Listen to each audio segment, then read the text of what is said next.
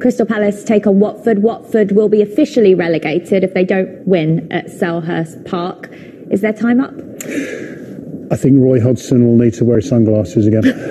they, were, they, were, winning when he had his sunglasses on. Um, yeah, Crystal Palace. I mean, uh, Patch Vieira has done such a great job, mm. and there's no as much as I want Watford to stay up.